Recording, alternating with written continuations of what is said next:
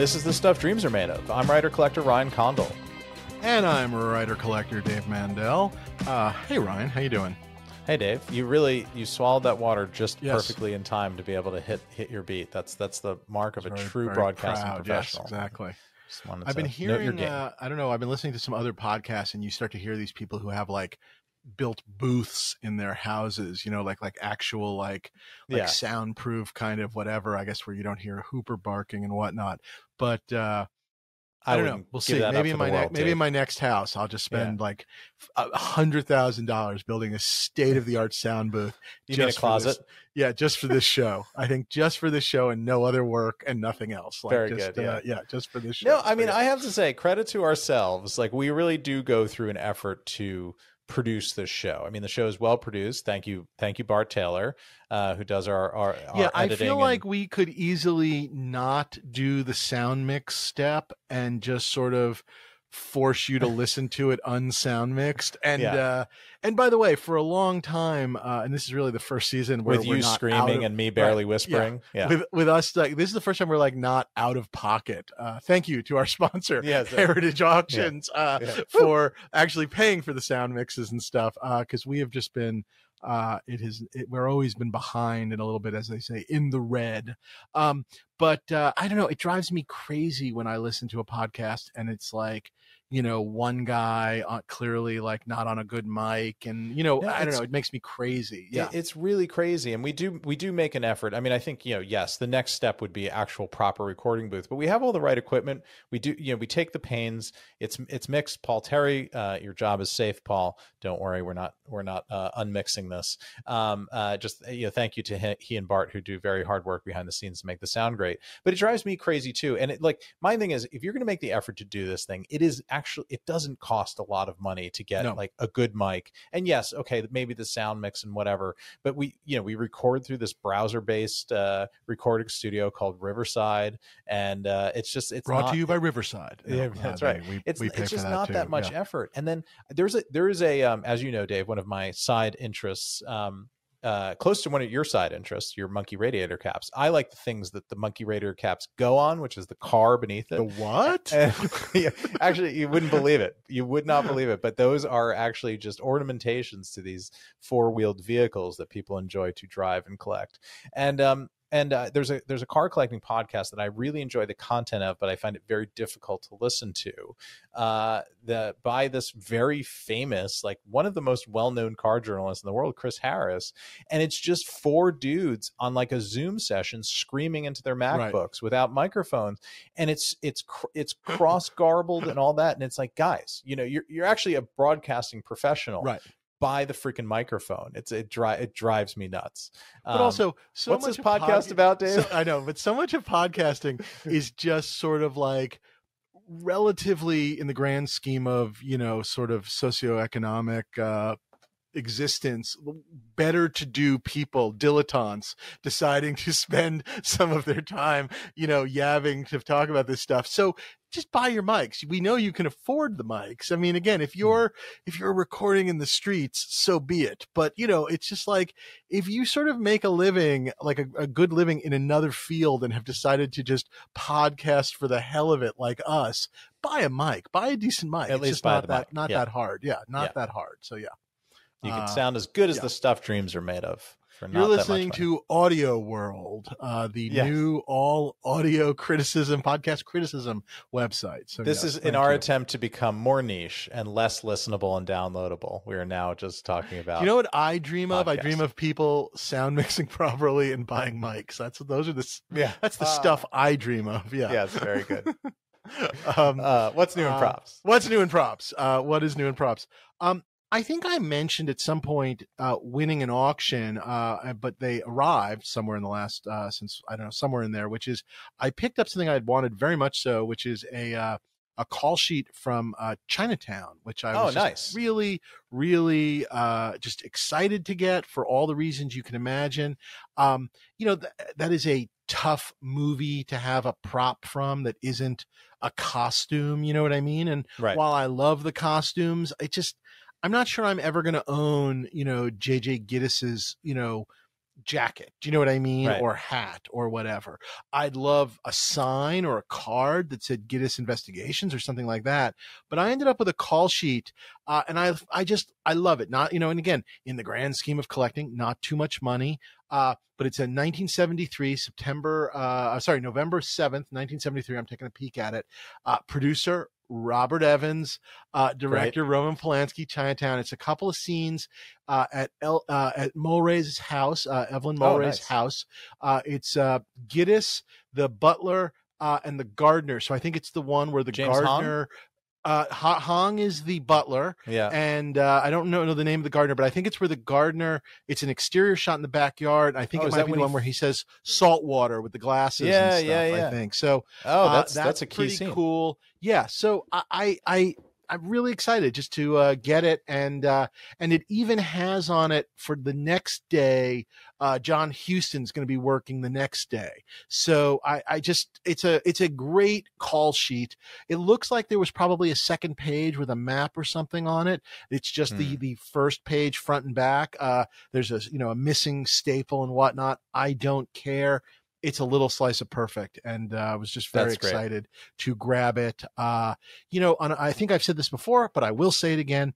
On a lot of these sort of, you know, classic great movies, I have really made an effort to try and sort of, you know, I've been lucky enough to have one uh, from uh, Some Like It Hot and a bunch of other great, uh, you know, Apocalypse Now, The Godfather, just call sheets from these movies I absolutely love, where in some cases, I don't know, I don't have a prop, or maybe I have something, but I love having this sort of piece of the movie history. So Yeah. uh, I, I just a, a real fan of it. So yeah. yeah. that that's awesome. I actually, I, I, I admit, I, I, I got very uh, jealous of your call sheet collection, and uh, also fellow collector and former guest and friend of the podcast, Glenn Carroll, Yes. uh, who has this amazing call sheet collection. He has an actually, incredible one, and I've actually I should say, and uh, when he was on the show, it may have come up. He's the one that I believe hooked me up with the Some Like It Hot one, which is just uh, fantastic. Oh, yeah. He was he had two and was able to give me one, which Nice. was beyond nice, fabulous. very so, yeah. cool. So thank you, Yeah, Glenn, he, if you're um, listening.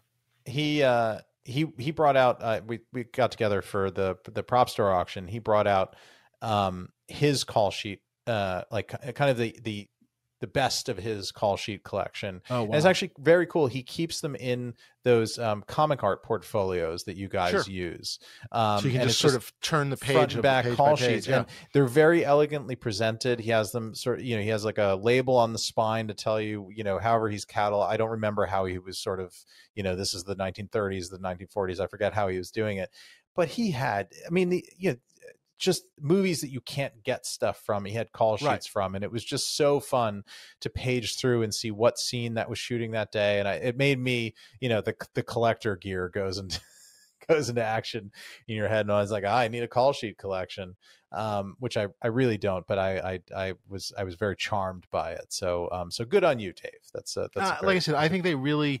I don't have enough to like put them in a book, but I have a couple of them framed, and I just love the way they kind of look on the wall. Even though being in the business, there's sort of nothing worse than your call. sh- You know, like like oh god, six a.m. tomorrow. But I guess when it's not it creates anxiety it's not when it's not your own call sheet, Yeah. they're pretty they're pretty nice. Yeah. Yeah. It does make me wish I'd held on to more call sheets from stuff I worked on. Although these days so much of it is digital. But yeah, anyway, yeah, yeah. So I have I have a what's new props, but it's it's a it's a dilemma, and I was hoping for your help on it. All right, go for it. Uh, so I have been offered a uh, a set, basically a set of Hudson BDUs uh, from Aliens, and I um I I as you know I have uh, I have and we should just armor. say for those that don't specifically know, this is referring basically to what I guess uh, you would more commonly call sort of the the camouflage, uh, Yes. sort of uh, the cloth clothing that they wear. Their their soldiers' uniforms under the colonial They're Marines underpants, armor, essentially. Yes.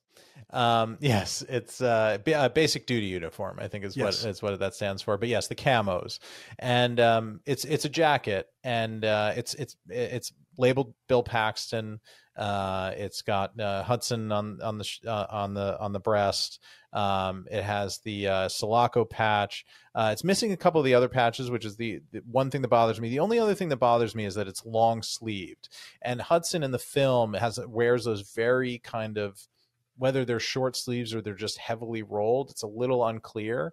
And um, I was just I'm I'm sort of like, how do you value something like this? You know, I think I've been I I don't think he wants the the moon for it, which is a good place to go. And I'm just sort of deciding like, yes, in a, an ideal world, it would be very nice to have that under my armor. Although I quite like the way my armor is displayed because because it's just the armor, you can see into it. You can so see can through see it and into it. No, I understand the Hudson that. Agree, label and everything. So I've sort of But been by the way, you backing could and pick- forthing. you could pick these up and quote unquote hold on Put to 'em- it put 'em for away. now and put them away and reevaluate if someday you're able to also find the pants and boots Sure. and whatnot if all of a sudden you decide to move along from kind of a torso display to a to larger full Yeah. figure display. But Yeah. it's not the worst thing in the world. You know, back when I had armor and originally I had mismatched BDUs under my armor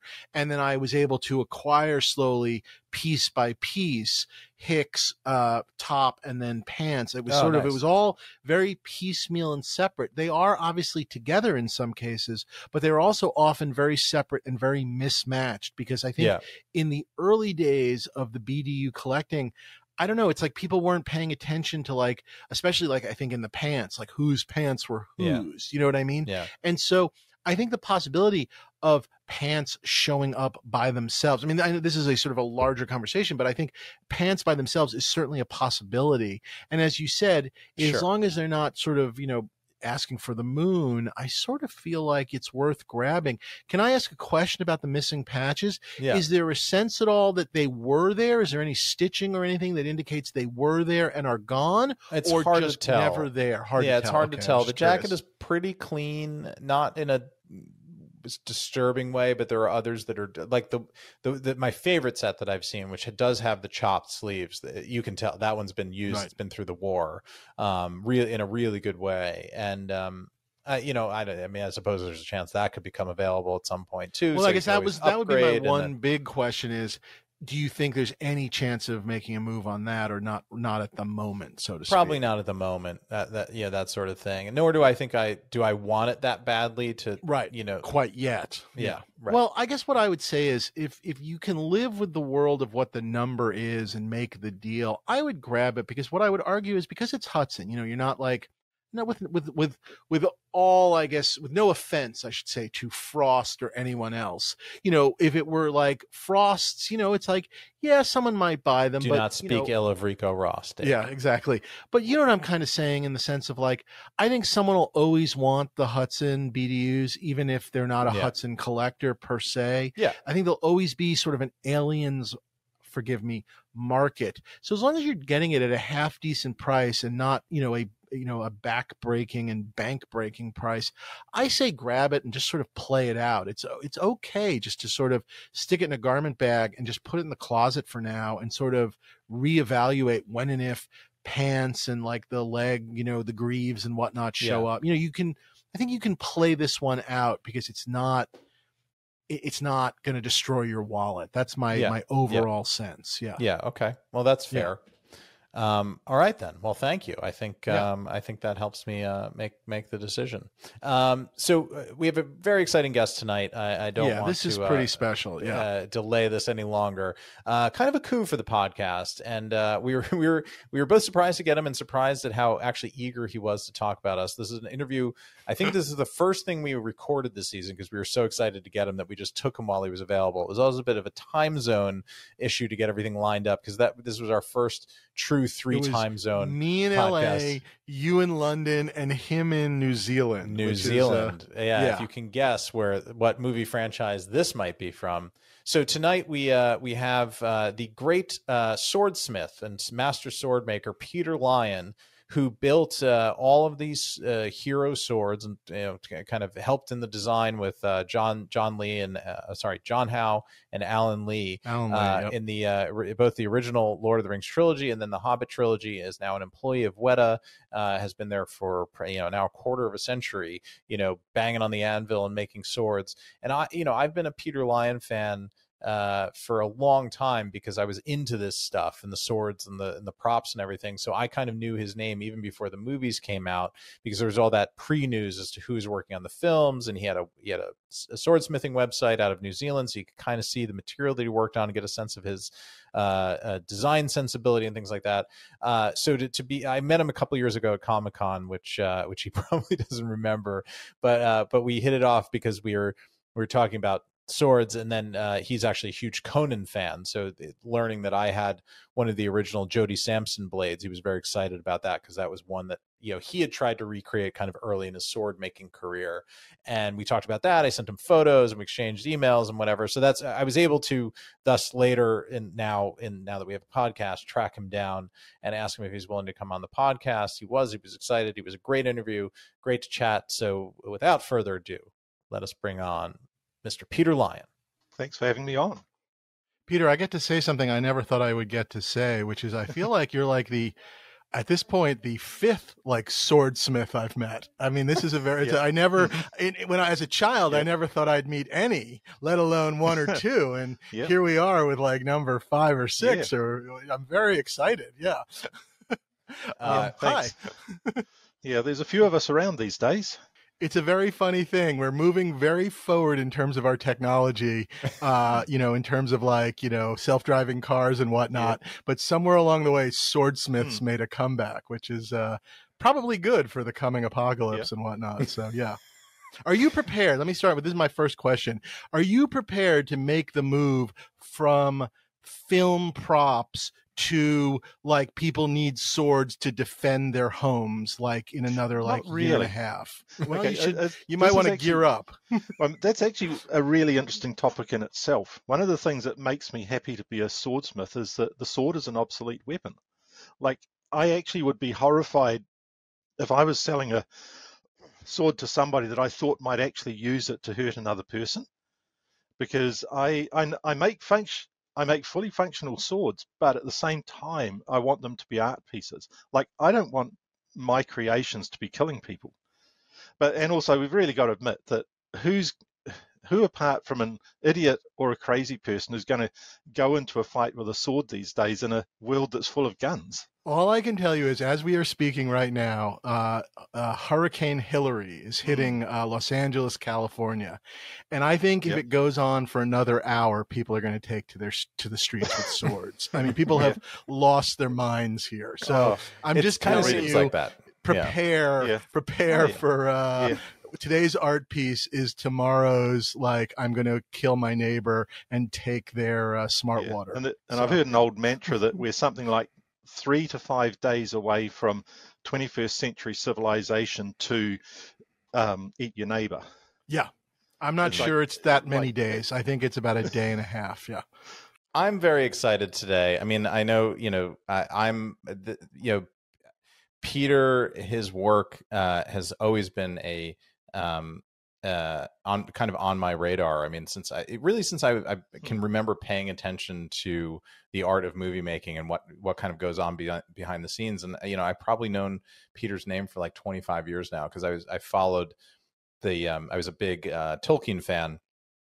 Uh, growing up, the you know reading uh, Lord of the Rings and The Hobbit and Silmarillion and all that, so I followed the making of um, the New Line uh, movies uh, back in the late '90s very closely, even when they were kind of off the radar of everybody but the craziest Tolkien nerds. So I think I knew, I probably knew your name even before sort of popular culture knew your name when the movies came out mm-hmm. and were the splash that they were because I was so excited about them. And I was, I grew up obsessed with swords, as we know from from uh, anybody that listens to this podcast, but particularly the you know the the famous swords of um, of, of Middle Earth, so Glamdring and uh, Anduril and and Narsil and Sting, and those those were all uh, those were all objects that I had uh, images of in my in my mind, and I was so excited to see um, what you guys were going to do with them. And now I now I would say, as in compliment, I think the the things that you uh, you made, Peter, have now those images have replaced the images that mm-hmm. existed in my mind of yeah. from probably from the the the the you know my imagination, but also the the artwork of yeah. um, you know Alan Lee and John mm. Howe and Ted Nasmith and um, uh, the the many famous artists that you know had, Yep. had drawn Tolkien before Peter Jackson brought it to Mhm. life on on the screen. So I'm Peter, very excited to have you. Peter, were those books important to you? Were those books of your childhood, so to speak? I've got to admit that I only read Lord of the Rings once before um, I got to work on Lord of on the movies, and uh, that was when I was a teenager, and I actually wasn't that impressed by it. I've got to. I Scandal. hate to admit it. Yeah, I'm afraid so. It We've got like- our headline. We've got I our found it- headline. I found it. Oh yeah, I found it pretty heavy going in places, and I skip all the all the uh, singing and poetry bits. But um, it's really to the interesting about the way that those swords have defined the look of you know of Tolkien's swords. Because okay, first of all, everyone thinks oh Tolkien really really described his swords well. Actually, no, he didn't. His descriptions are really evocative, but they're terrible descriptions. It's like it's got a jeweled hilt. Okay, cool. That's it. That's the description. So um, the the artists, and particularly John Howe and Alan Lee, got so obviously had a lot of scope, and we benefited from the time that we were doing this too, because this was before uh, 3D modeling and 3D printing. So these days, a, a sword would be fully defined, and in fact, I may only see components after they've been printed or machined these days. But back in those days, they were still drawing with pen and uh, pencil and paper, not on a screen. And I was given drawings, and I was given a bit of leeway to interpret them as real swords, with proportions and how they'd they'd work in three dimensions as you. So there them. were things in their designs where you looked at them and kind of had to say to yourself, "Yes, but," or "This Hmm, needs to yeah, be a little this bit, or to be- like- yeah." Yeah, like this is a beautiful, elegant cross, but it's so spindly that it would never actually survive. So just make it a little chunkier. Um, and we also benefited from the fact that the swords had to be made for real. Admittedly, with modern tooling and machines to speed up the process, but they're actually made as real swords, not as film props. And that is something that I worry is is being lost these days because so Yeah. much stuff is completely 3D modeled by people who are good 3D modelers, but they don't know swords. And so we get a process where swords are props rather than swords. And I, I had the advantage coming from a medieval reenactment background that I looked at a sword as a sword first and a prop second. So I was looking at weight, balance, um, and stuff like that, as well as the artistic thing of how does it look in three dimensions when you turn it in your hand and things like this. And I think that the film benefited from that because as you see these, you see that they're real weapons, just blunt, because you hand an actor a sword and suddenly they're a swordsman. and, you know, um, they want to wave it around and it's like, yeah, not sharp. But, but yeah, we actually did benefit from the time period. And in a way, each period of filmmaking is a time capsule. So you don't do things today the way that we did 25 years ago, for better or worse. Was it different, if you don't mind me asking, when you guys got to the Hobbit films? Because even that was a Mm-hmm. little bit later. Was it was it different, or were you guys still, if you will, doing it the way you did it? It, it was a bit different. There's um, the work. People that don't know the film industry, the work gets split out among different departments because if every, say in The Hobbit, we were on quite a time crunch because Peter Jackson picked up the reins and redefined things in the way he wanted it to look. So that meant we were on a real time crunch to get everything made.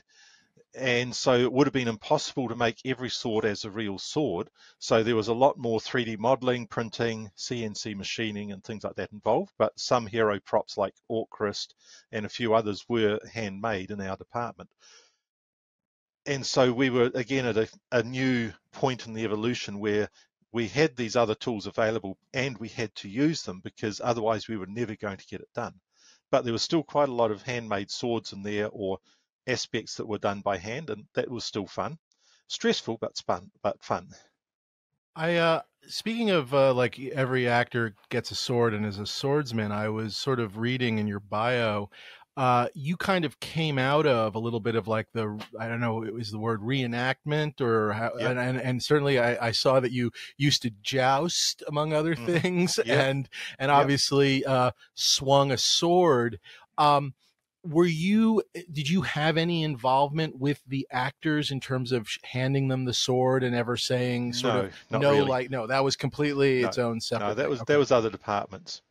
so yeah, I, I did interact with lead actors and people like that when they were getting fittings and trying things out, and and those were the days too, which is sounds really weird now. Where during Lord of the Rings, it was a lot of it was surprisingly casual. Like I remember one day I was on the phone, Christopher Lee walks in, and I just wave at him. It's like, oh hi Christopher, and off he goes. It's like, can you imagine that in uh, other bits of the world? you know, like day off, they just come wandering into the Weta Workshop and just see what's new. Um, that's great. It was a great way to do things, and I didn't only learned afterwards that that's not how the real world works. Christopher Lee has never casually walked through my office, but uh, that's uh, that is an amazing uh, part of filmmaking. The yeah. surprises oh, that come yeah, every day. Yeah. So, um, Peter, I, we do, we obviously want to talk so a lot about Lord of the Rings. Did we get sidetracked a bit? There? Yeah, we no. This entire this, podcast this... is a giant sidetrack. well, actually, you were asking yes. about my my reenactment background, so I might as well mention a bit about that. And yeah, I started off in Great. medieval reenactment. And you've got to remember, New Zealand is on the opposite side of the world from the history that we were trying to recreate. So we got a very skewed view of what was happening in the rest of the world at around about you know 1984 when I started, and um, like we got very little information, no internet, of course.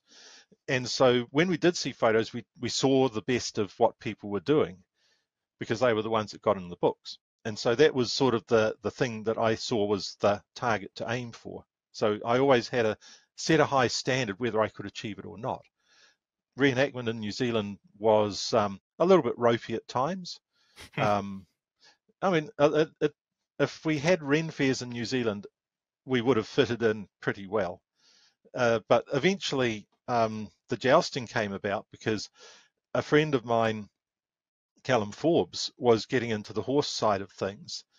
And if anyone involved with horses knows that horses just dominate your life, and it's a very good way to become a millionaire when you started with two million. like it's the classic story. How do you become a millionaire? You start with two million dollars and then you keep horses. and but anyway, so he actually was really into the jousting. I managed to latch on to that. Um, he gave me the advantage of never actually having the expense and time overheads of uh, having my own horse. And I got into the jousting that way because it was the next logical step in a way. It's like to understand what was going on. And you get on a horse and the world changes a lot like horses get a bit more complicated. Um, you're on this big animal that you're trying to work with while you're doing other stuff. So armor and lance and things like that. You add that on to riding a horse. And it's a creature that's run by a very small brain and mostly instinct. So there are definitely challenges there. But uh, at its Wait, best, are we joust, talking about jousting? jousting? Are we talking about jousting or movie making? I'm sorry, small brain. I can't remember. Yeah, could sorry. be crossovers. Yeah. but yeah, yeah, jousting. Jousting was the most amazing, stressful, uh, focused thing that I think I could do. Like the the you're about two seconds between perfection and disaster at any moment. Uh, and I'm not just talking about when you strike with the lance. I'm talking about just riding. Like sure. I've seen horses just decide I'm going sideways, boom, and leave the rider behind and stuff like that. Because I feel like Ryan, you've recreated jousts, right? You've got jousting in your. Have you done jousting per se yet in, in a show or not quite yet? Yeah, yeah. In the in the in the oh, pilot, you, have done had, jousting. Yeah, yeah. We so had a turn. We had a turn. done like fake jousting, and mm. that must be hard enough. But the idea of being mm. on a horse and actually jousting, yeah, well, yeah, just we seems had, insane. Yeah, yeah. We had we had a pretty gnarly um, accident with. I mean, thankfully they were they were stunt guys, and mm. he's he's fine now. But um, as you know, as Peter said, uh, inches between you know uh, inches and seconds between uh, success mm. and disaster.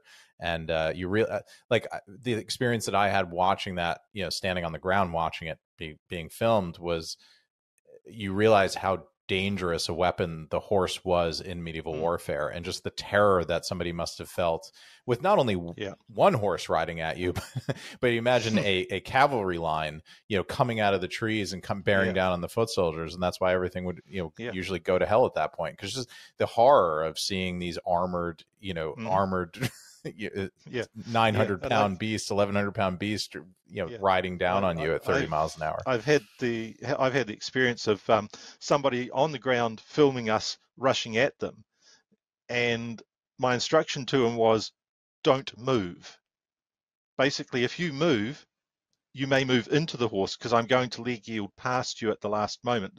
So Sure. even if it looks like I'm about to run you over, stay still. It's like it can be so dangerous. And then, of course, for you, Ryan, you've got the extra complication. You're trying to think framing, movement, all panning, all this stuff. You're trying to you're trying to actually get a shot as well as doing everything. So telling a story. yeah, so many Yeah. challenges. Yeah. You started medieval reenactment. Were you had you mm. been messing around with blacksmithing before that or did No. this get you into that work? The, this got me into it. So I, I was at university and met a guy who was with a one of our very early sword fighting groups, which was actually an offshoot of um, of uh, stage combat for plays and things. Okay. Okay. And that got me into it. And so I just kept going deeper and deeper. So before Uh, that, it there was it wasn't like you were uh, forgive me reading books or any kind of like you weren't like swords were meaningless. I mean they were they were swords. They were Yeah, whatever yeah. they were. Okay. Uh, I, I was reading history and fantasy, um, but I didn't. I don't- wasn't actually wanting to get into medieval reenactment until I saw it, and I thought, yeah, I, I want to have a go at this. It's also um, one of these weird things. I'm very likely autistic.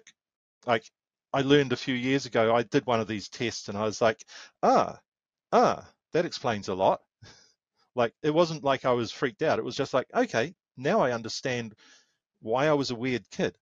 Um, I'd, Peter, I'd like to I'd like to introduce you to every comedy writer in Los Angeles. Uh, but anyway, Yes. Yeah, and just most maybe not- collectors. yeah, maybe but like maybe the- not the- with the swords, but otherwise, yeah. yeah, yeah. Okay. but the um, you know, the obsessive focus that goes with that, and I just picked Mm. on medieval stuff as my obsession, and uh, everything sort of grew from there. So how well okay, so how did you find your way into was it was it I I I'm I've had my time in the joust and I need to find something a little safer? Or was it simply just the, the you know the the weapons here aren't realistic enough? What what was it that drove you into the interest in in swordsmithing? Uh, well, actually, it was the reenactment, and of course, again, like I said, 1980s New Zealand, we couldn't get anything. Um, like one of our prized possessions was a a one sheet uh, thing from a a helmet maker in England at the time. It's like, oh, we could get spun bowls and things like this and make some equipment. Like we had access to nothing in New Okay. Zealand except what we could make ourselves. So, and I saw this and I thought, I, I wouldn't mind making this stuff because I liked and I found that I enjoyed the handcraft side of things. So I got into making armor and then swords, and and had you ever been any there. kind of like model maker or anything like that No, in your no, no. just just I- kind I, I of did shop, I did machine shop and woodworking at school, but that was really it. sure. Uh, did plastic kits, mostly aeroplanes, but uh, yeah, no, nothing like that. But again, I'm, I'm not sure if I had any particular ability or whether it was just that obsessive focus that I just I just got into things and just kept going. and wh- wh- so what was the first thing that you made Um, oh, the first sword I made, well, the first sword I started, not necessarily the first sword I finished, was, um, and I was inspired by the Conan movie in a way. Oh, ah And so, so the Conan movie was telling me swords should be short and heavy.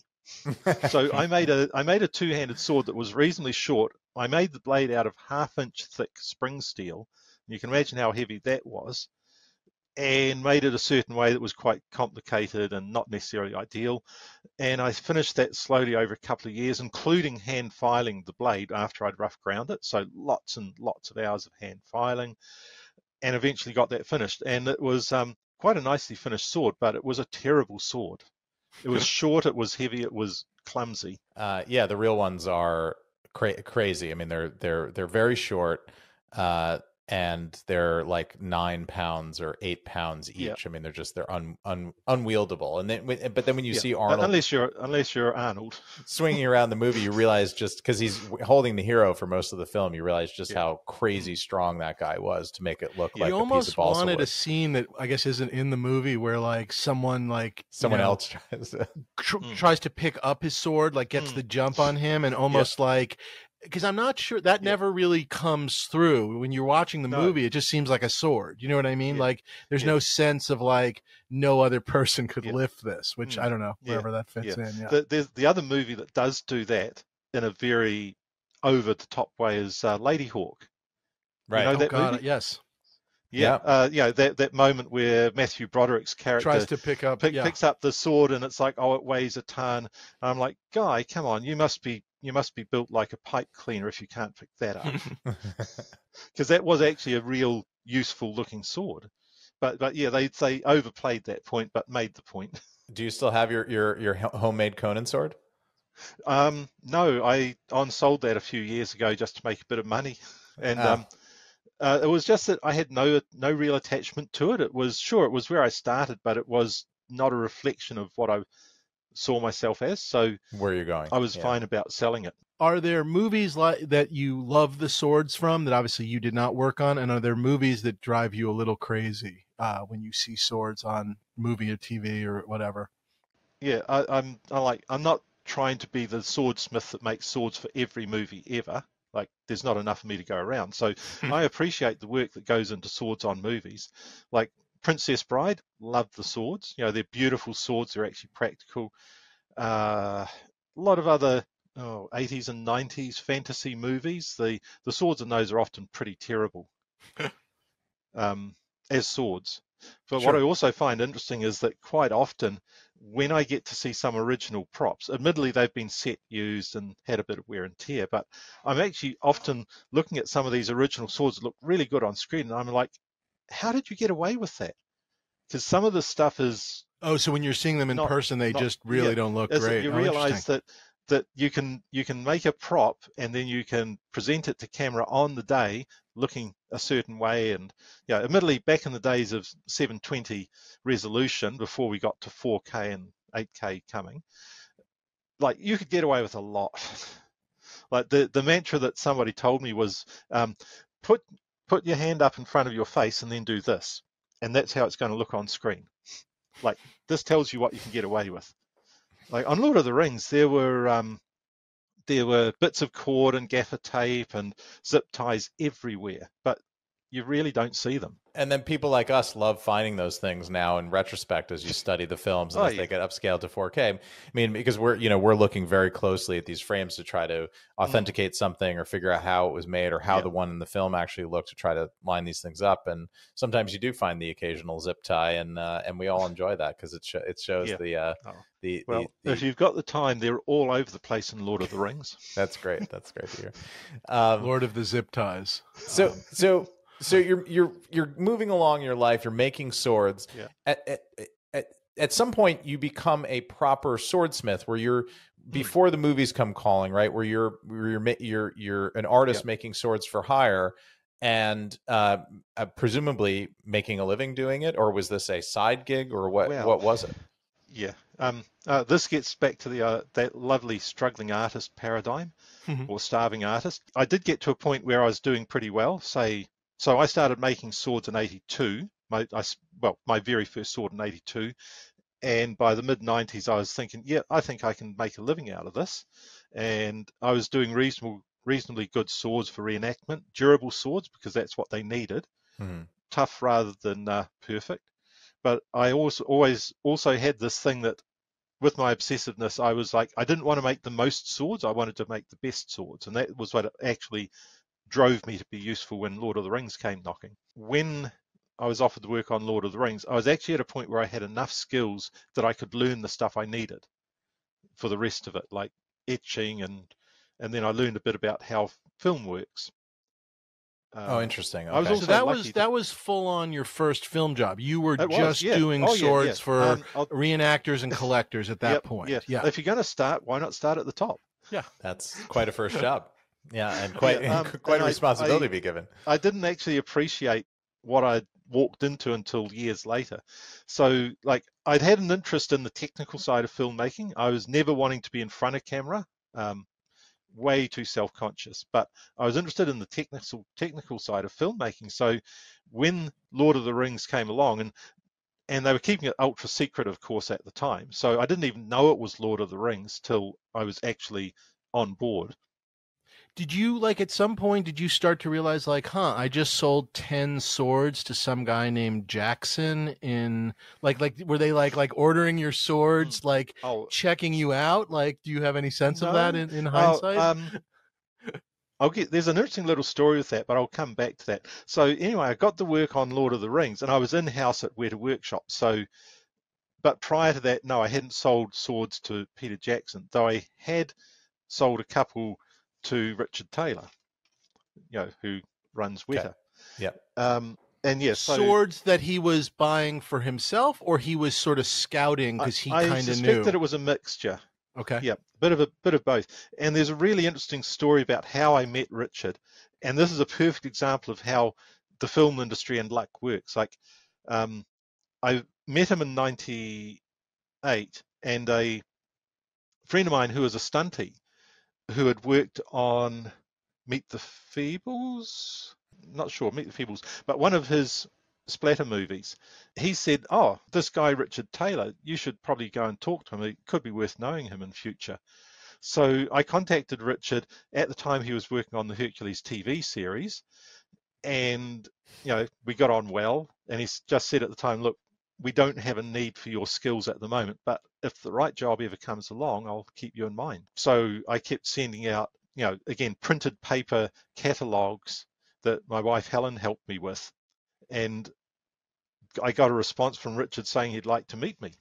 And so, as a result of this string of fortuitous circumstances, I met Richard, and he obviously decided that I had enough skills to be useful to them and that I could probably pick up the rest that I needed.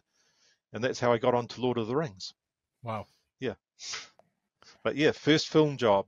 And I didn't appreciate how big a deal it was until years later. Yeah, it was actually towards the end, and I was starting to see stuff from fan responses and the the the excitement that people were getting from clips like the um, uh, you know the uh, troll fight and stuff like that that got released at Cannes and and the buzz going with that. And I started and suddenly I realized actually this is a really big deal to a lot of people. Whereas to me it was a job that had to be done and probably that's good because otherwise I would have been freaked out. You might, you might, it might have freaked you out. Yeah, I mean, it's in, in that in that way, it was good. I mean, I so I mean, it was like I said, it was a huge deal to me. I actually saw that troll sequence when um, uh, Barrie Osborne come to New York mm. and to Lincoln Center. Uh, I think it probably September. This is September of 2001. Yeah. Uh, uh, pre, you know, just probably a week before uh, September 11th and a few three months then before the release of the first film and showed it at this like film gala mm. at, at, Lincoln Center. And I just remember I again I had been following it on the One Ring Net as a you know ex- very excited little mm-hmm. Tolkien mm-hmm. nerd for years, and to be able to see it come to life that way, and uh, seeing that scene, I knew that he had totally nailed it. It just it was just like through and through it was it was Tolkien's Lord of the Rings and it was like leaping off the screen yeah. and the page had come alive and it was so exciting and then I just hated having to wait three more months to you know to see to see the first film but um but and seeing the stuff i mean the way the way the the way the the weapons the armor looked the way legolas's bow looked yeah. certainly the swords yeah. um uh you know the orcs and their weaponry it was just it, all of that that mm-hmm. stuff mm-hmm. and the, the I layers remember watching it and thinking real. there needed to be more jewels on the swords yeah. but i'm sorry on the hilts yeah yeah yeah that would have made my life more difficult so, so yeah, that's my only com- that's my only yeah, complaint. I, Otherwise, it's yeah. a perfect movie. Yeah, I think the thing that people really loved, and this came this came about because Peter Jackson's basic opening lines, and throughout the whole production was, "It's a fantasy world, but we need we want this to feel like a real world that's lived in." And so you didn't get mm. this thing of, oh, somebody's just worked walked fresh out of the costume department in this beautiful new outfit. Like stuff was lived in, people were lived in the yeah. world had been lived in and you felt that even if you didn't see much of it that there was a whole history behind everything. And it actually gave it a grounding that so many fantasy films have all have often lacked. Yeah. Yeah, yeah and I, I agree and i think i think it, that that sort of aesthetic was uh, was copied or honored or aped or however you want to uh, you know uh, uh, oh, you know in the in the years to come and it was just it was such a it was such a seminal thing because fa- most fantasy had looked kind of dodgy you know up up, yep. up until that point. There were a few films that were you know the original conan obviously being one of them. Sometimes dodgy almost in the opposite way of too shiny where like yeah. every all the armor looks like Yeah. somebody just, Just made it. it. and had like an electric buffer of some sort you know like that Yeah. that very sort of Mhm. overly ridiculous kind Yeah. of yeah shiny is the yeah, perfect yeah, word no feeling that these people have actually lived a life, that their equipment has has lived a life, and you know, some will be new, some will be old and broken down, and most in between. It's Right. Yeah. So so can you take just take us through the basic process of making a sword for the original Lord of the Rings? Like how, what Sure. uh, you know from basically from concept to completion. I Mm-hmm. know you know John Howe and Alan Lee are involved. They're doing drawings. Like wh- you know where do you get involved, and what did what did that look like for you to deliver a finished sort of quote unquote hero sword to the production? my involvement would usually start when I was given a finished art piece. Sometimes I was involved in the in the design a little bit, but generally that wasn't my thing. So John Howe in particular was really valuable because at the time he was a member of the Company of St. George, which was one of the premier recreation groups in, in Europe. And Oh, so he cool. had this knowledge of how armor works, like because he would wear armor. He knew how a sword worked because he practiced with swords. So he had an understanding of how if you add too much stuff to a sword, it just becomes heavy and clunky and hard to use, and it doesn't look like it's a believable weapon. So he was very influential, and he helped train other designers with that aesthetic as well. so he was really draw he was amount. draw he was drawing from experience Oh, as yeah. opposed to just Yeah. I like And, here's a- actually, yeah. This is why some of the some of the swords in Lord of the Rings look quite grounded because a lot of them are variations on medieval themes. Anduril is a good example because it's a medieval cruciform two-handed sword, a smallish two-handed sword, but it's a it's a classic medieval European sword with some design tweaks that keep it believable but makes it unique. And that's that's a really hard balance to to get because like it's really really easy to over design stuff and like you see it so often like oh we need something on this i'll add spikes or cross skulls or something to it. Um, whereas sometimes the subtlety of the design is what actually tells you it's a, a believable weapon. Like sting is one of my favorites for that.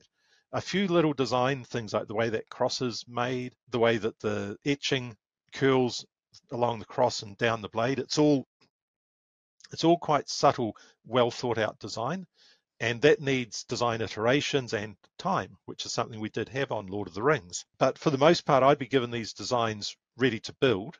I did have some small pointers along the way, like um, they were they were struggling with Anduril, trying to figure out how to get everything they wanted on the blade, and they were trying things like two lines of lettering, and and it was very small, and I knew the camera would never see it.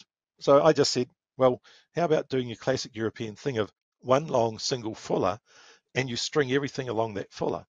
And when they tried that, it worked out quite well. But for the most part, I didn't have that much influence because I, I was also learning design as I went. Uh, I picked up a lot of stuff about how you design good stuff from people that were, you know, you'd do 10 drawings and two of them might be considered good, but the others were still learning. And when I get a design, I look at it as a two-dimensional design, which is mostly what we get given on paper, and then I look at it. How does this work in three dimensions? How does how do the elements of this pop out from the two-dimensional page? How is it going to look at different angles? Um, and just try to make that work. Beef things up or thin things down to make the weight and balance right. Because um, again, with the experience I've got now, I can generally look at a design and say it's going to weigh this much, it's going to balance here, or this is going to be too too heavy in the hand or blade heavy or whatever. Um, and you know, I just know the proportions that work. And from there, I'd break down the build process. And generally, the blades are uh, ground out of uh, spring steel bar. Forging usually doesn't give any advantages unless it's a blade that's got a lot of curvature, and you can't get that out of a single strip of steel. Mhm. So mostly ground. The crosses and pommels were, if they're bronze, they were cast. If they were steel, they were actually cut out of blocks of steel. Again, I I actually avoided forging stuff where I could because the advantage of starting with a block of steel is that you've got a nice squared off piece of material, so you can mark profiles, then you cut it out, then you mark your plan form, and then you just start reducing from there. Essentially, the way I described it to people is I see the shape inside the block, I just remove everything that I don't want. Simple Okay. in principle, of course. Yeah. I feel like that's very, uh, very Michelangelo kind of. Uh, Yeah. Like, yeah, you just sort of have Yeah, to I, like, I like think it. I think yeah, looking uh, at the block of marble and what do I what do I get rid of? Yes, uh, but I, I like that. I like that a lot. Yeah, and, and a bit like marble, if you go, oops, so like you can't add it back. Yeah. It's either you work with what you've got and tweak things, or you start again. And were you were you all were you primarily making blades at this point, uh, or were you were you kind of responsible for everything, including the furniture, do you know, d- doing any kind of leather work that was involved in the in with the grips? Well, we had specialist leather workers and other Okay. people helping with scabbards and other stuff. Sculptors would be uh, making things that would would be you know, doing clay or plasticine sculpts of things that would be cast into bronze. So that was split out, and I was Okay. working mainly on the swords. Initially, I did a bit of armoring work, but we also had two specialist armorers working on the crew. So at one point, I said to Richard, "Well, I'd be quite happy just to make the swords and let the other guys work on all the armor." And that turned out to actually be uh, as one of those little chance conversations that defined the rest of my career, because I dropped the armor side completely and became a sword It maker really became a sword guy. on that Yeah. day. I was just curious with like when you were looking around the shop of the people that they had sort of gathered, were they other familiar faces from Oh, the yeah. reenactment Yeah. world? Oh, they Like, were. you They, like they were both like- reenactors. gotcha. I Yeah. just figured. I was sort of Yeah. thinking that. Yeah. Yeah. It, Okay. it cool. was a it was a very small, almost ingrown world in New Zealand. I I guess you could say. Yeah. Like uh, everyone, everyone knew everyone. Uh, and I'm sure I'm sure because it was it was, it was such an it's such an island, and they they were desperate Yeah. to Oh, yeah. find. Oh, talent you know and the knowledge six on- degrees of yeah, the six degrees of separation thing. The joke was that if you're in Wellington, you're you're lucky if you reach two degrees of separation. And and people would say, hey, I know somebody that works on Lord of the Rings, and everyone else would go, meh. Yeah, yeah. If you're So- in so we Wellington, all. you're involved, Yeah, or you know somebody that's involved. yeah. Um, how how involved was uh how or not how hands on was Peter Jackson in the actual sword not the making process of course but the Mm. the design process was he coming in at multiple phases and checking things Oh, out yeah. was he checking out the the Yeah. the design and then Yeah. seeing the final where you know, did you Yep, see him in the shop all the time Yeah, yeah. So he'd start with a, an array of potential designs for a sword like Sting, and then he would narrow it down, and then that Peter, I, sorry, I do want to inter- I want to interrupt really quickly. I Yeah. think Ryan is looking for a certain amount of Oh, you telling him that him constantly being in the shops at House of the Dragon is not is not weird or bad. He Oh. wants to hear he wants to hear that Oh, yeah. somebody else was yeah. constantly touching the swords yeah. and swinging them Oh. around and putting on Following a armor and legend. stuff. Peter, Yeah. Yes. Peter Yeah. Jackson wasn't really that sort of guy. He he was like when you've finished the cutouts at scale and everything's tied down, then yeah, it gets. He would look at things during the build, um, but he wasn't fanboying, shall we say? But like, let me just let me say right now, there's there's absolutely nothing wrong with you wanting to be in the sword making shop every day. thank you Um, to Thank me, you, I that appreciate that. sounds that sounds acceptable. Yeah, thank you. See, Dave. Um, uh, but w- was he? Because I, I, you know, I know from his his background, you know, he, I mean, he certainly was very interested in like the creature stuff and things like that. But I was just, Mm. I was always curious, is like how Yep. how do you how do you direct those three films and be Mm. That involved in sort of everything that goes into the process? So I was just curious with something as kind of specific and niche as swords, which I'm it's a- obviously interested in. It's a how really interesting question. Like I look back at it now and I don't know how it worked. And I think basically what it came down to is that we didn't know that it was impossible, so we did it. Yeah. That's what it came down to. Like the fact that, you know, you know how complex the organization is on a, a film or TV project, how easy it is for things to spin out of control if you're not really focused and everyone's on the same page. Yeah, it would have been so easy for everything to go wrong. Like, you know, Peter Jackson was famous for handing new pages of script to actors on set on the day. And like normally, normally anyone outside looking at that says, I see a disaster in the making. But actually, his, each time he did that, it was improving things, getting it, you know, he'd be picking bit, bits out of Tolkien's text and bringing it into the film. even at short notice. Yeah. And Did- and there were so that many things on Lord of the Rings that sounded like it was a recipe for disaster, but it worked somehow. Did that same sort of pulling things out ever come into your world and i guess what i Oh, yeah. mean is like i don't like we like all of a sudden like oh my god i'm adding this character or this Hmm. character needs a Oh, sword that- that like we didn't think they needed a sword but now they need a sword kind of a thing Yeah, you may be aware. You're probably aware of the infamous uh, Strider versus Sauron scene that never apparently got filmed, or if it got filmed, it quietly got buried. Yeah. But like, but like, you know, at one point, Strider was meant to actually, Aragorn was meant to actually have the your standard boss fight with Sauron, and we all know how ridiculous that sounds when Sauron's nine foot tall demigod, basically. Um, no, it doesn't matter. No, no one, however good they are, can't stand up to him. But at one point, we were given a design that was like, okay, we want to have this up at Mount Ruapehu, I think it was, in five days, I think it was, for uh, a hero sword for Sauron.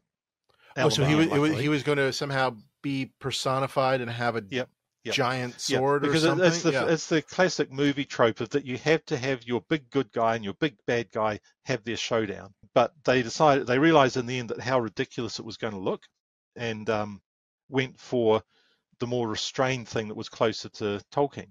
But that was a thing I turned around in five days. And and at one point uh, there was towards the end of filming when everyone understood the design ethic design ethos for all the different races and everything else. One day Richard Taylor hands me an A4 sheet with a, a sword sketch on it for I think it was I think it might have been Beregond, uh, a, a secondary character who was suddenly going to pop up and maybe get filmed close up because with Peter Jackson there was no such thing as a deep background prop. Every prop, like one day he, he could on any given day say, "Oh, that orc way off in the background. I want you in front of camera." So w- nothing was deep background. We couldn't get away with that. And so in this case, this was a sword that might be seen. And I was um, given an A4 sketch and, and literally told, you know what you're doing, make it. oh, and it, I think it was three Wow. days, did it make or it might have been uh, a bit over a week. But, it- but did it, it was like did to it me make that was the a movie huge. did it make the movie did it end up getting seen I, it may be seen. Uh, uh, Beregond is one of the guards of the White Tree at Gondor, so Right. you probably see him in the background. But yeah, quick turnaround, and uh, I took that as a huge compliment, of course, to just be trusted to make something that To looked pull that part. Because Yeah. we knew what. Because after what was it, three years making stuff, we pretty much knew you what got good at it you got good at it yeah yeah, but also we we'd nailed down the look of things. Um, these days, I'm not so sure that that could happen because yeah, there are so many people that need to be involved. Yeah, there will never be another project like Lord of the Rings.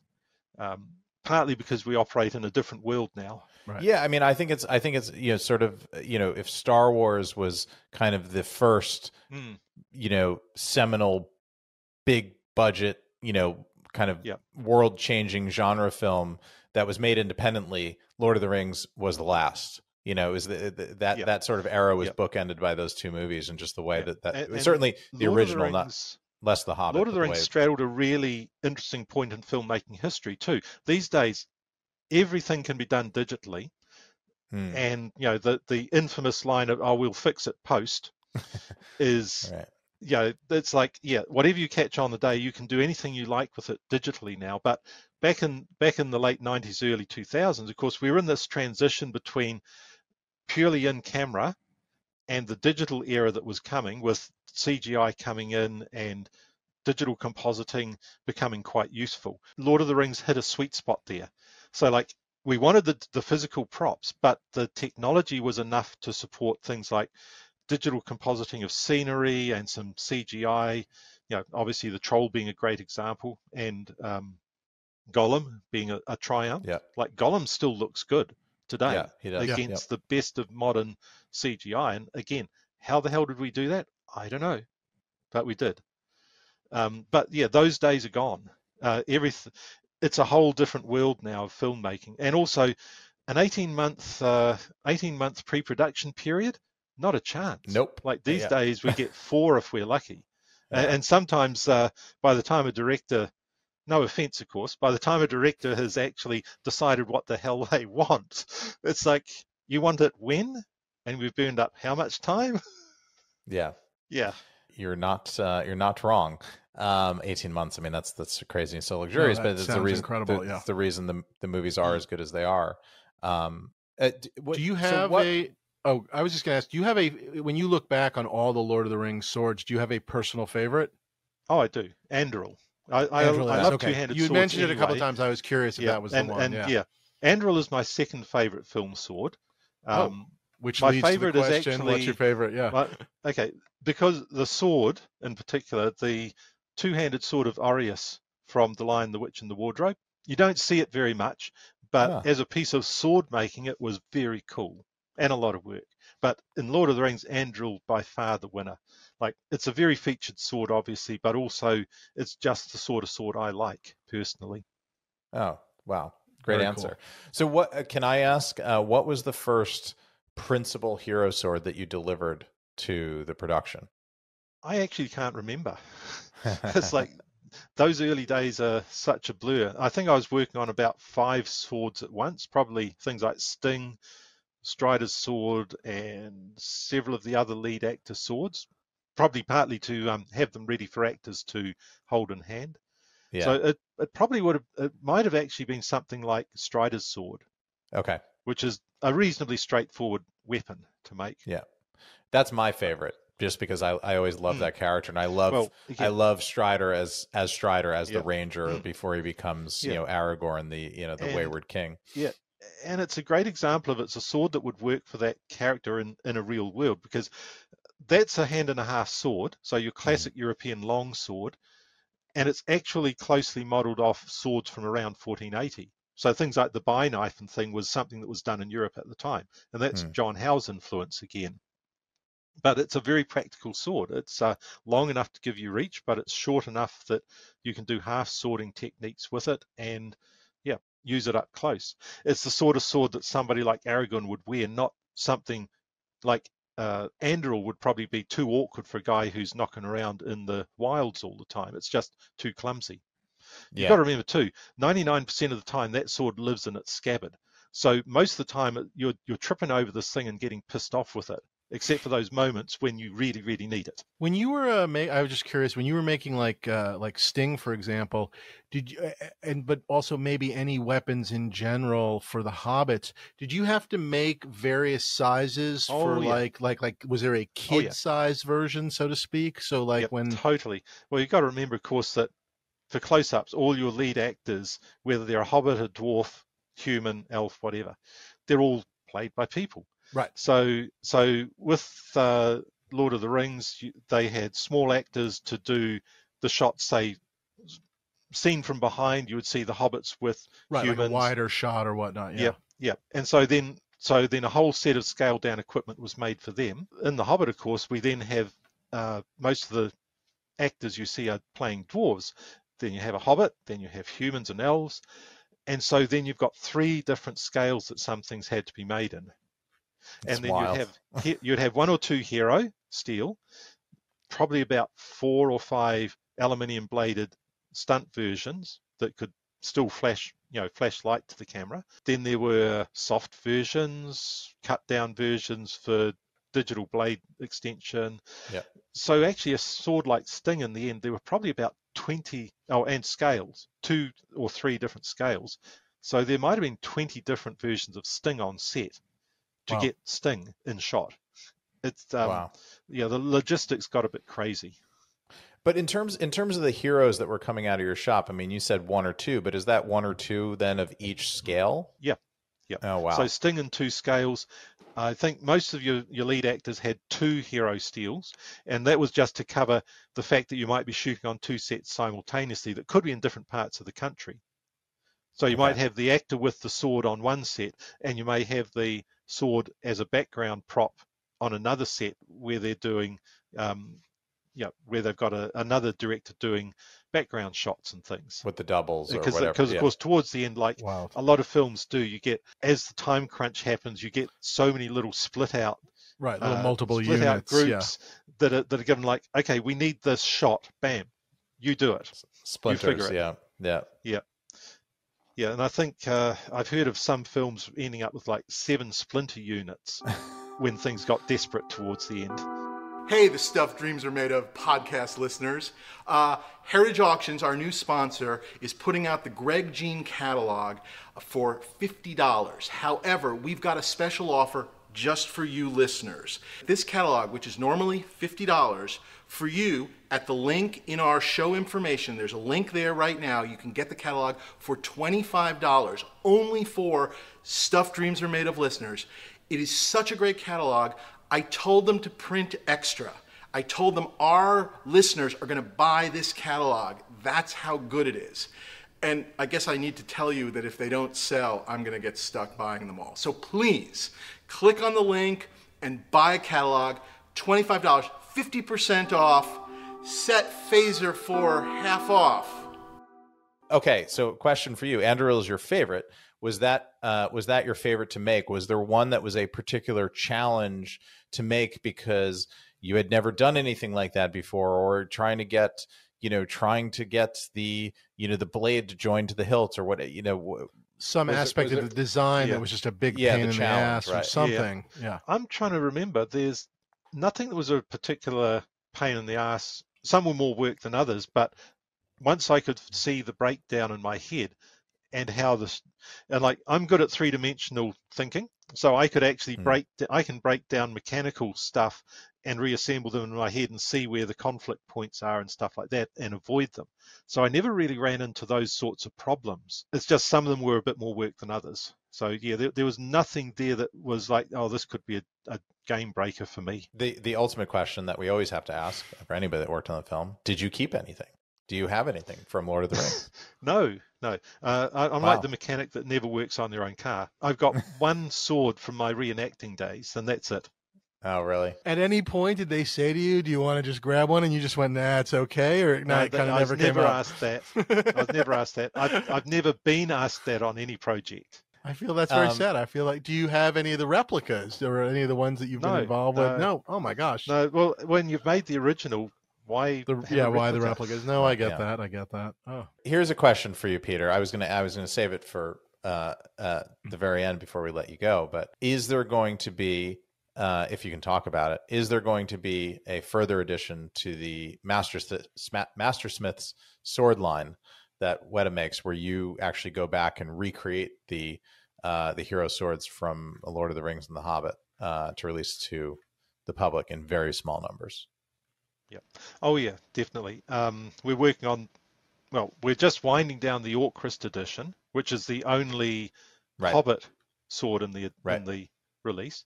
So got the last three underway on that at the moment, and we're working on the next one, which I'm not sure I can actually announce because I don't think it's been done officially yet. So I don't want to preempt it. But yeah, there are there are ongoing things, and the beauty of that for me as a maker is um, partly it fills in the gaps between other work, but also it lets me go back to stuff that I was making over 20 years ago and, and make it now with 20 more years of experience. Yeah. Of course, it also means that I've got to make it much better. But yeah, these, these are going to be ongoing until I retire probably. oh, Like, great. I'm, I'm turning 60 in February. So like I've been around for a bit now and uh, I draw a pension at 65. And after that, we'll see. Like, uh, I mean, on my personally too is like these are they're great bread and butter, and it's great revisiting some of these designs. But at the same time, I'm also um, I've, I've taken a long hiatus from personal work for various reasons, and uh, I'm just sort of starting to get back into a, a little bit of that, looking at doing things that I find artistically interesting mainly. Like, there's no point in me making the same historical sword that six other companies make. My thing is what I call practical fantasy, and that's why I loved Lord of the Rings because they were fantasy swords, but there was nothing silly about them. sure. And uh, I mean, you you've got that too with House of Dragons. I've got got to do some name dropping here, of course. Uh, of course, you've got Peter Johnsson making your two hero hero swords. Yeah. And like, and, and I'm a huge fan of Peter Johnsson. I've I've only met him a couple of times, but like his depth of knowledge of the theory as well as the making is quite amazing. And like what he did for House of the Dragon was to me a perfect blend of the fantasy elements with a sword that's still very practical. Yeah. Know, in Yeah. both of those lead swords. And um, beautiful design, beautiful execution. And you always look at them and you think, this is a real sword. It's not just a chunk of metal. Yeah, yeah, and they and they they're alive in the hand in that way, and and Yeah. um, you know, I, I I credit I credit you, I credit uh, Richard Taylor, Peter Jackson, you know, the the creative team behind Lord of the Rings, because the reason that I I I chased down uh, Peter specifically when we were starting to make um we're getting into pre pre production in the original shows because I knew how long the lead time was to make a real proper Yep. sword, Mm. and we didn't actually we didn't have And, an and of course, armor yet. Peter's got limited limited work that he can take on too. He can't yeah, just well, he's one drop he's one everything guy. for six months. Yeah, yeah, Yeah. So I had to. Yeah. So it was there was a lot of a lot of dominoes had to kind of fall in the right direction, but Mm. we didn't we didn't even have our armorer yet. You know, Tim Tim Lewis who's our Yeah. master armorer. Um, we hadn't we hadn't hired that department yet. So we had a production designer, and then I I really wanted to hire. I always admired Peter's work. Um, his his original work uh, from afar, and I knew he had all the skill sets to be a one stop shop to make these two things. So I just Mhm. wanted to assign off these two swords, and that was it. I mean, I, th- we were going to have an armor that was going to come in and do Yep. everything else, and uh, and I I was inspired by the fact that Lord of the Rings had had hired and used you, a Yeah. proper real swordsmith. It wasn't a Mm. prop maker. It was also what they did on Conan. You know, they used Jody Samson Yep. to come Yeah. in, and there was a whole bunch of other things went into the making those swords, but they had a proper sword maker who knew blades Yeah. and knew how to make a real weapon and made it for made it for film and i wanted Yeah. to do the same thing for, for our show for its legacy and uh, yeah peter peter knocked it out of the park he did a he did a really good job. So I'm curious about that too. Did he do a lot of the design work himself, or did you have a finished design ready? No, that was all Peter, and that was the other thing that I knew is he. I knew he had a design capacity from all Yep. of the. You know, I, Yep. I, he had built Well, a sword for me years ago, just a, Yep. a, a custom medieval, you know, one off that he did, and he had designed he had designed it himself, and I knew he's Mhm. he, you know, he would borrow things from uh, his deep knowledge of museums and traveling to places, and then he had this capacity to make fantasy pieces too that were grounded in reality. Mm. So I turned it completely over to him. I mean, we consulted with our production designer Jim Clay a bit, and he would he would give feedback, and I would give feedback as we went along. But those were purely Peter's designs that he was iterating as we went along. So Mhm. he, uh, you know, he is responsible for those uh, from kind of concept to completion, Yeah. and uh, and he's you know, hopefully he's getting the recognition that he deserves for it because Yeah, I, I great job. remember. I remember at the time on Facebook, he was a bit cagey about. I'm working on something really cool, but I can't say anything about it. yeah he told me he told me when he went to the uh because he you know he had he had the blades made at this um uh forge in sweden that makes uh kitchen steel you know so they they Oh, do Powdered work in- steels.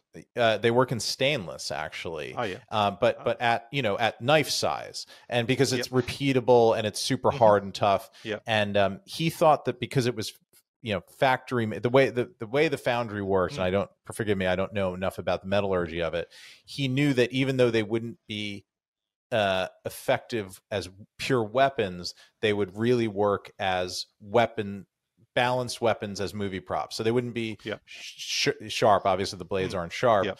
um, but he also knew that you could touch the blade and not have to worry about immediately wiping Yep. it off or you know oxidizing or Oh. whatever. And uh, when when he went to them and oh, he said, "I'm stainless steels, aren't they? So They you don't yeah. have to worry about the the rust the way that I always did on Lord of the Rings. yeah." Though so luckily, there's- of course, we wanted aged looks, so rust was actually a bonus Rust was- sometimes. Rust, I guess, was okay, but yeah, no, they're they're they're great, and you don't have to take care of them in the way Yeah. that you would actually, uh, you know, owning a real sword.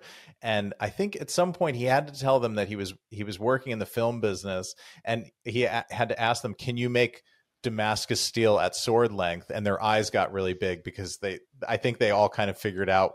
You know, they knew the prequel was getting Yeah. made, and they all kind Ah. of figured out what they were doing. So they had to keep very quiet about it as they made this thing. It was like, Yeah. you know, distant foundry somewhere in the uh, Mhm.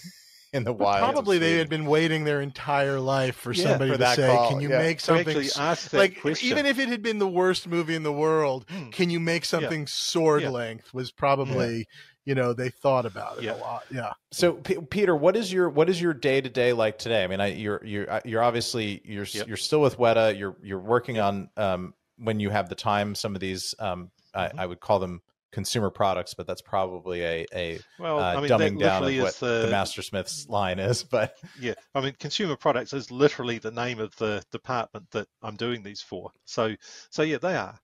they're Yeah. consumer products, but they're still art, Art pieces. pieces. They're they're also um, the craft. And this is the weird thing: directors will look really closely at props, but collectors I take it to another level. So like the the level of finish that we have to achieve to keep the collectors happy is quite amazing.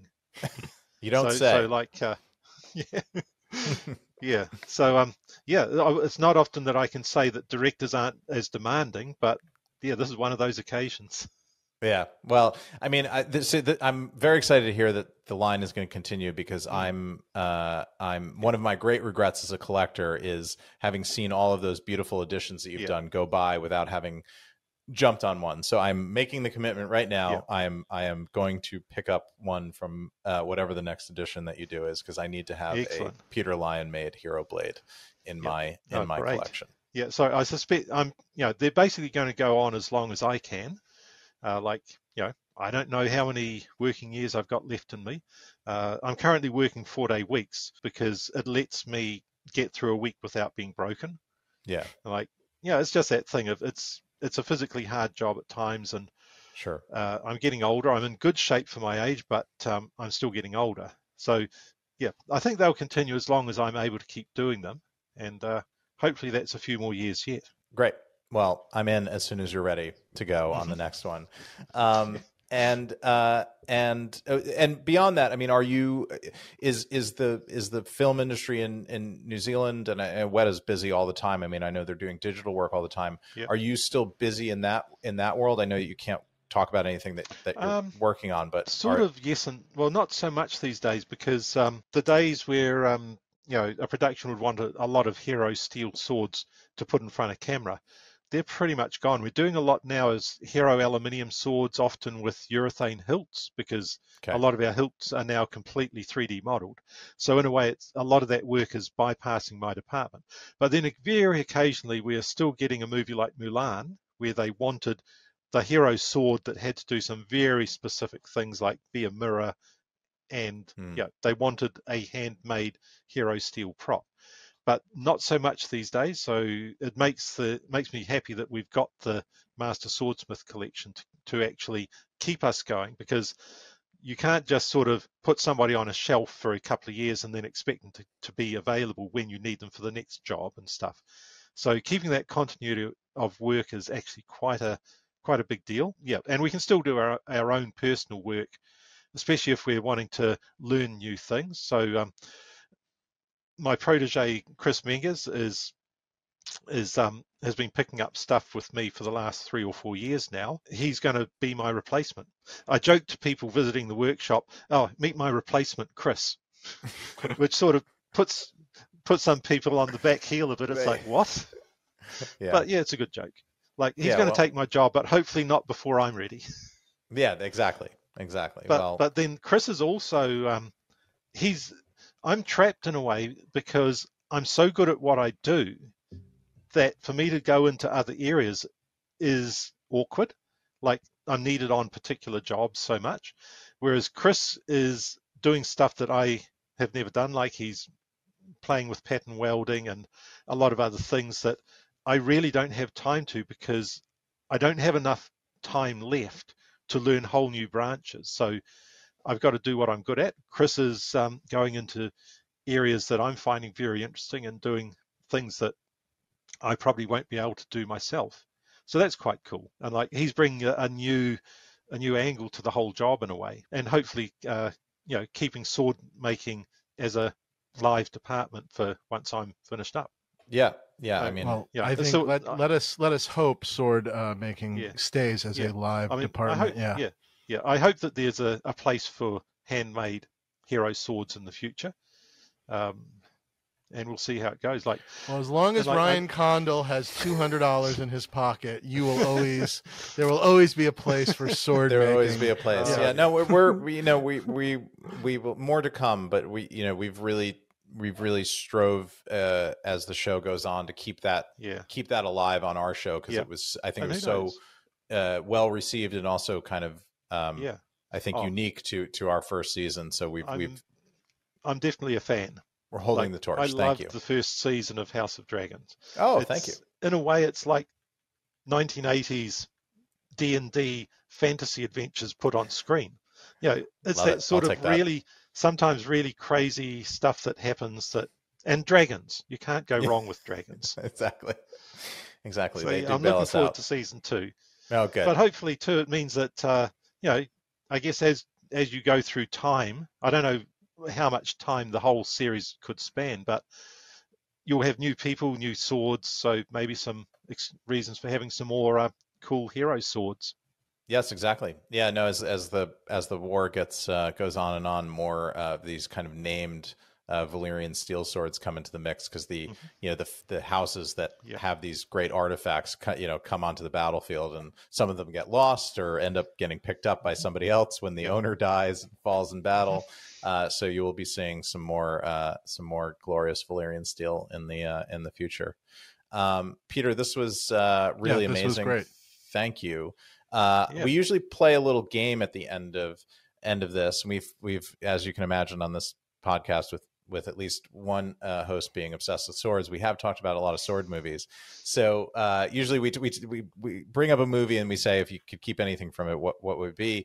I think we should Yeah. play a sword game, but I think we will put I wrote- parameters around. I it. wrote two jokes. I want it, Peter. Okay. Pick, a, pick your favorite joke, but they're not okay. real questions. Joke one is, "What's your favorite gun in a movie?" That's that's that's Okay. joke version one. Okay. Okay. And then joke Yep. version two is, "What's your favorite sword in the Amazon Lord of the Rings TV show?"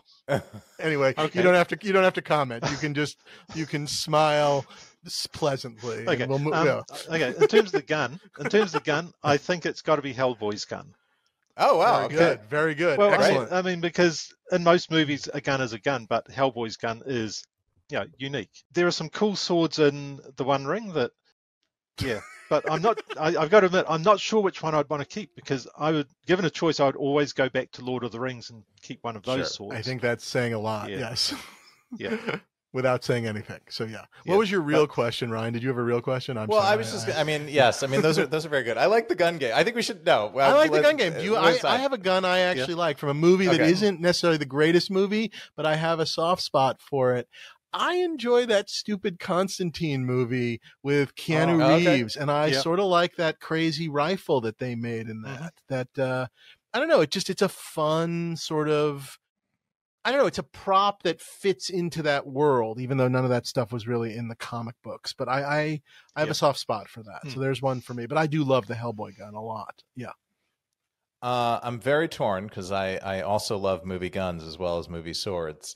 Um, but I'm I'm gonna I'm gonna go for one that we haven't really talked about uh, on the podcast. We've talked about a bunch of these things before, and I'm I'm a bit torn as to my favorite movie design ever. But this is one that is ha- I've always loved because of its practicality, and we've talked a lot about practicality today. And that is basically, I, I think, kind of lost because nobody nobody's ever seen the hero, and that's uh, RoboCop's Auto Nine from the original RoboCop Oh, movie. And I love that design. auto knife. I'm sorry. Uh, RoboCop had a knife. No, no, the Auto Nine. It's it's the name Oh, of the, the- gun. oh. They, they, Oh right. I, I oh, think his it's just machine pistol. yeah, it's an automatic nine Yeah. millimeter, and it was based on a Beretta 93R, which is like the you know full auto pistol, Mm. and it, they Yeah. they built a bunch of stuff onto it. But I love how practical it looks, where it looks like a real gun, Yeah. and I love how they built it to kind of be holstered inside of his you know inside of his leg.